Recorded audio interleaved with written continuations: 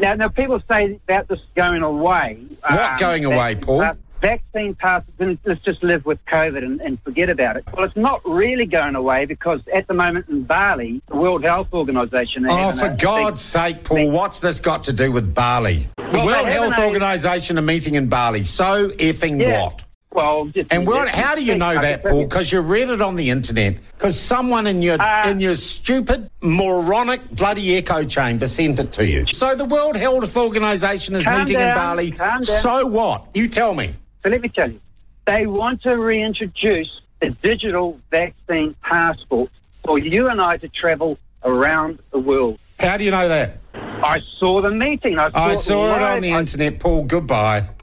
So let's have a digital health certificate acknowledged by WHO if you have been vaccinated or tested properly, then you can move around.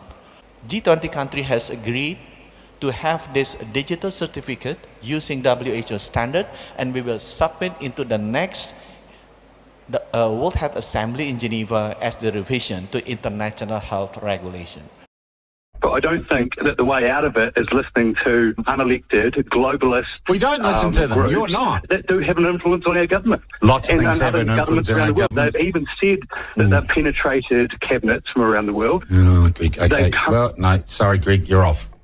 So yesterday I was at a, rece- at a reception for Prime Minister Trudeau, and I know that half of this cabinet, or even more half of uh, half of this cabinet, are for are actually young global leaders of the World Economic Forum.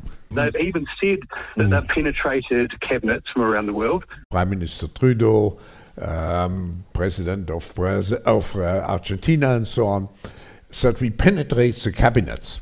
No, sorry, Greg, you're off. They've said this. I read this on the internet. Do your research. Actually, Greg, you weren't quite full blown nutter, but you were close.